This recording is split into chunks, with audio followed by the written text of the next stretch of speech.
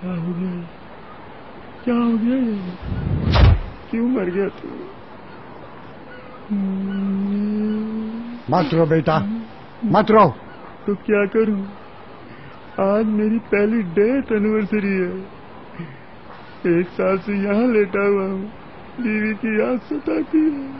कोई बात नहीं एक दो साल में वो भी आ जाएगी। रोते नहीं मुझे देख।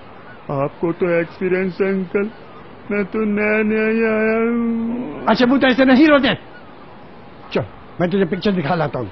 कौन सी भूत। एक मिनट। चल जल्दी चल नहीं छोड़ छूट जाएगा। चल।